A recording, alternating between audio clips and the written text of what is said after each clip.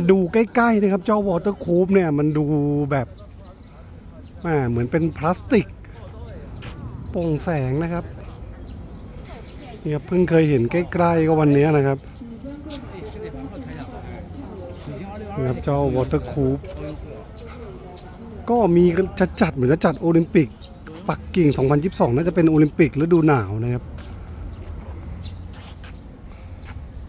ดี๋ยวเราเข้าไปดูข้างในของวอเตอร์คูปกันครับ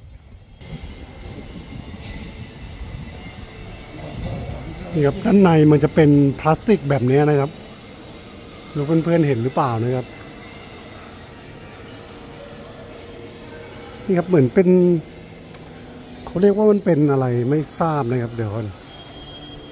เหมือนเป็น เป็นพลาสติกกันแหละครับ แต่ว่ามันเป็น ค่อนข้างนิ่มครับนิ่มกว่าที่ผมคิดไว้นะครับ นิ่มกว่าที่ผมคิดไว้นะครับ ข้างในก็มีร้านขายของด้วยนะครับ เป็นพลาสติกนิ่มๆเลยครับใสๆนะครับทำเป็นรูป Water Cube นะครับ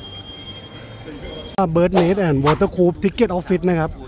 ก็สามารถมาซื้อทัวร์สนามที่นี่ได้นะครับนี่ครับสวยๆแบบนี้เลยนะครับ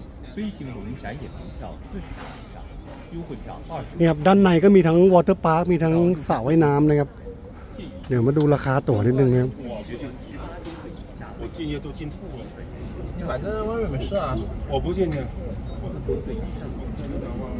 ก็ผมได้ตั๋วมาแล้วนะครับ ตั๋วเข้าชม Water Cube เนี่ย 40 หยวนนะครับ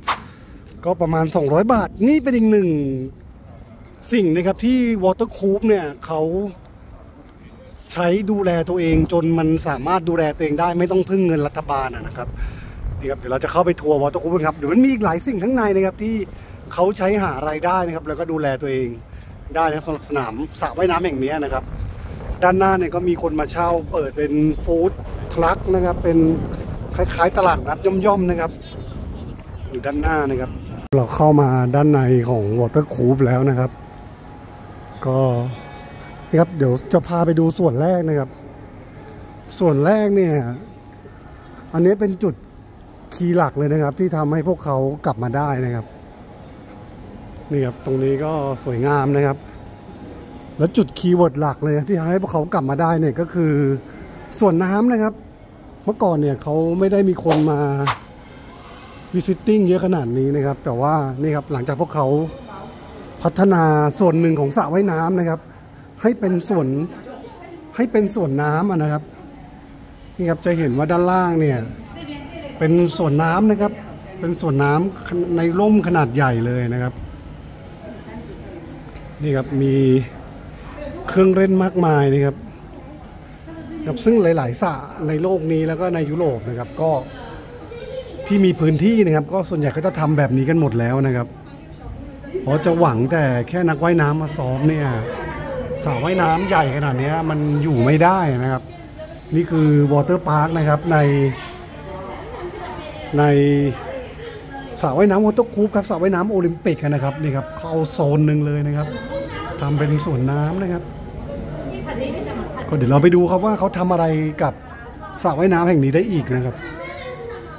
เราพาไปชมสระแข่งนะครับสระแข่งโอลิมปิก 2008 นะครับสระที่ มีประวัติศาสตร์เรื่องราวเกิดขึ้นมากมายนะครับ นี่ครับ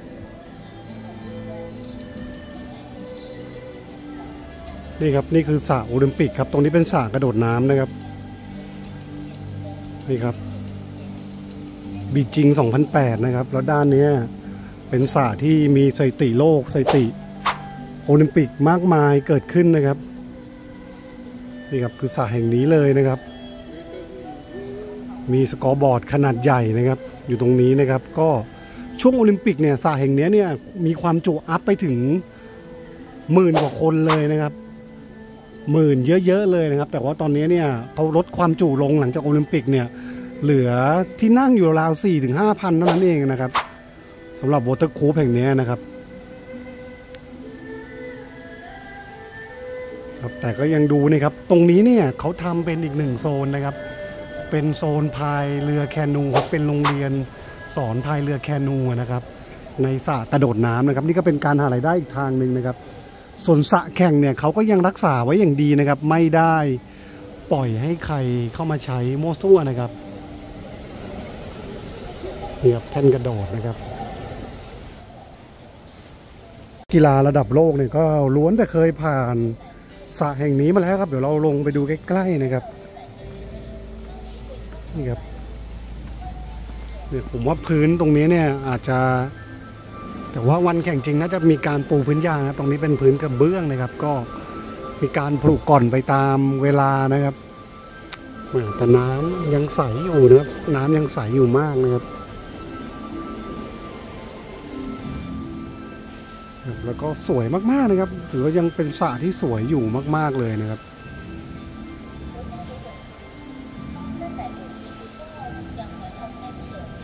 บนก็ระบบไฟอะไรก็ยังอยู่เต็มนะครับ แล้วก็เป็น Water Cube แหละครับด้านบนนะครับ เป็นฟองน้ำเป็น bubble นะครับ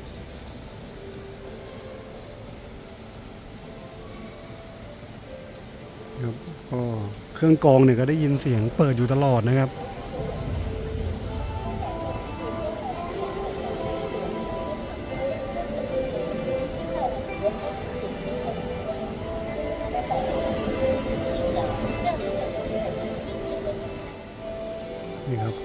เขาก็เปิดให้เขามาทัวร์ได้นะครับ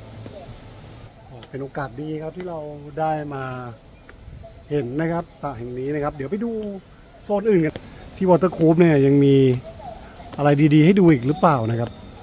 เนี่ยก็มีพวกร้านสะดวกซื้อมาเปิดนะครับนี่ครับเขาก็ให้พื้นที่ส่วนหนึ่งเป็นโซนขายของไปเลยนะครับ มีพื้นที่จัดแสดงสินค้านะครับพวกนี้เนี่ยก็เป็นรายได้ให้กับ สระวอเตอร์คูปแห่งนี้นะครับ มีร้านอาหารนะครับ นี่ครับลำพังแค่สระอย่างเดียวไม่น่าจะรอดหรอกนะครับ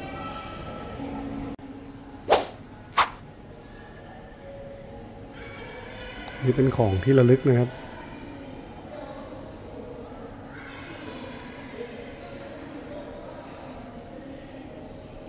ตรงนี้เนี่ยโอ้โหต้องบอกว่ามี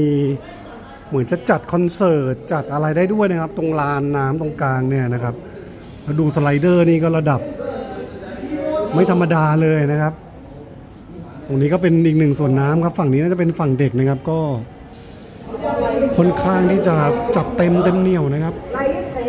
ไม่แพ้ส่วนน้ำดัง ๆในไทยเลยนะครับ แต่ว่านี่เป็นส่วนน้ำในร่มนะครับ ในร่มครับที่ไม่ต้องกลัวแดดกลัวฝนนะครับ อืมต้อไอเดียค่อนข้างน่าสนใจนะครับ ในการดูแลสระแล้วก็เอาเงินรายได้เนี่ยมาดูแลตัวเองนะครับอืมอลังการจริงนะครับส่วนน้ำเขานี่ครับ โอ้โห ดูสไลเดอร์นี่น้ำวนนะครับ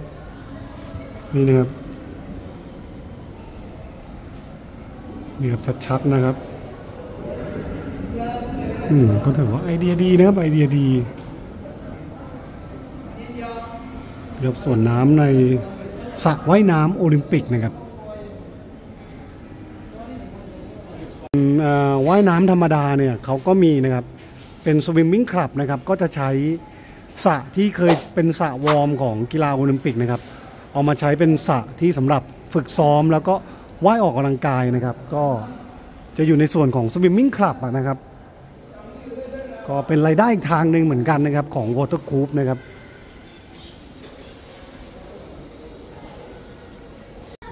อันนี้เป็นโซน swimming club นะครับ ก็มีสองสระนะครับ swimming club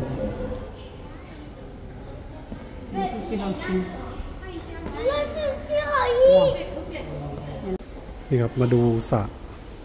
สระที่เป็นสระ swimming club นี่ก็ต้องบอกว่าเป็นสระ ที่ก็ต้องบอกว่ามาตรฐานเหมือนกันนะครับ เป็นสระคุณภาพดีครับคล้ายๆกับสระโอลิมปิกหลายที่นะครับ ก็เป็นสระ warm ที่ มีขนาด 50 เมตรเหมือนกันนะครับ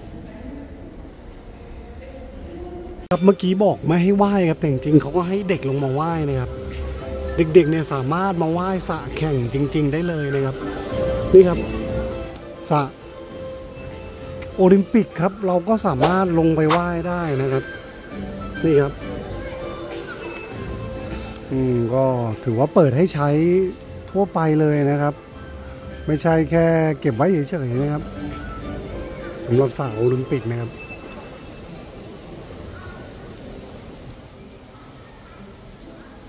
เป็นฉากเหมือนเป็นสระว่ายน้ำแนวตั้งมาให้ถ่ายรูปนะครับ นี่ครับ ก็ถือว่าไอเดียดีทีเดียวนะครับ เนี่ยเปิดเป็นร้านอาหารด้วยนะครับก็เดี๋ยวเราอาจจะนั่งกินร้านกินอาหาร แล้วก็วิวโอลิมปิกแบบนี้นะครับนี่ครับเดี๋ยวเราก็กินข้าวแล้วก็เป็นวิวสระว่ายน้ำโอลิมปิกแบบนี้นะครับกินข้าวกับวิวสระโอลิมปิกนะครับนี่ครับกินไปด้วยดูวิวสระโอลิมปิกไปด้วยนะครับนี่ครับจริงๆสระนี้ผมไม่อยากมานานมากแล้วนะครับ แต่ว่าเพิ่งมีโอกาสได้มานะครับ เนี่ยเขามีร้านข้าวพอดีนะครับ ข้าวเรามาแล้วครับ พร้อมกับวิวสระโอลิมปิกครับ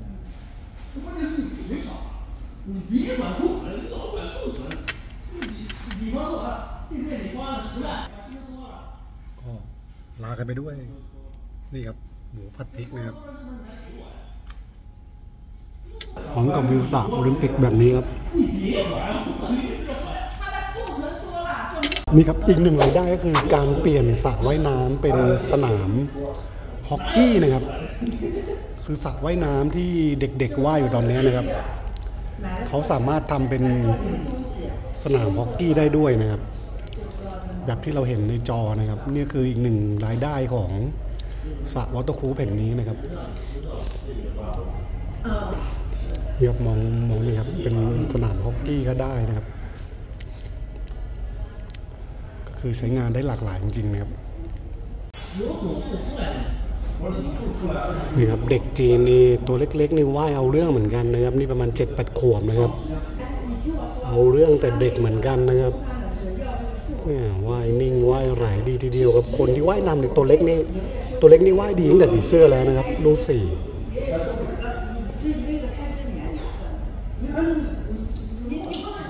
ก็ลากันไปด้วย